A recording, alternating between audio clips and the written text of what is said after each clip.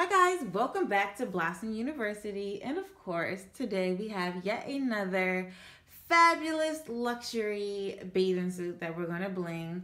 Now this bathing suit already has a little bit of bling. If you can see, let's turn this way, right? So in the back, there's a chain, boom. And then there's like two other chains and it's like that on each side. So that's super cute. And then I'll be adding this applique to the bathing suit. So it's going to be really, really gorgy. I cannot wait. We're going to jump right into the video. If you haven't already, remember to subscribe. Um, I have a workbook, of course, so links in the bio.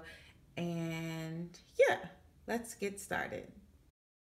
So I start by cutting the mesh around uh, one side of the applique, I'm going to use the side that I'm cutting as the top.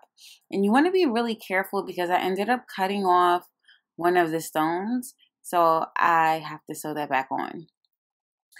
But I um, start pinning the applique, of course. You want to pin the applique first. I only use four pins because it's a pretty medium, small to medium applique. And I get my needle and thread and begin to stitch.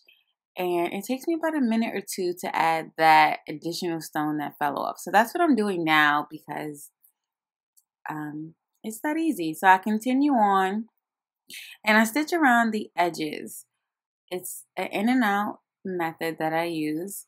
And I stitch around the edges of the applique and I do this throughout the top, the sides, and the bottom.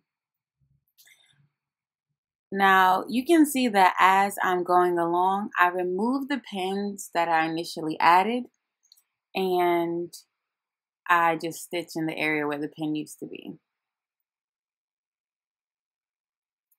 One thing I will say is that when you're stitching on this applique, you want to be careful not to get the thread caught uh, in the rhinestones because they tend to catch on the coverings of the rhinestones. So that's one thing that I noticed that I had to um, try to avoid. So here you see me just continuing around. It literally took me about 20 minutes, I would say, to overall sew this applique onto the swimsuit. But if I didn't cut that one rhinestone, I think I would have been around the 15 minute margin. Um, but I would say you don't want to rush. Definitely take your time.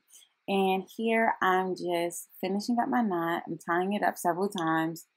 And then I cut the ending string. And here you'll see that I'm going to iron on this applique as well. So in your workbook, which you will see, uh, there is a portion where it shows you um, at which temperatures and how long you're supposed to apply heat. So this is the final look. I think it's beautiful. I love this bathing suit. I'm going to pair this with a Swarovski um, cover up, of course. Most likely like a pants or something mesh or something really cute.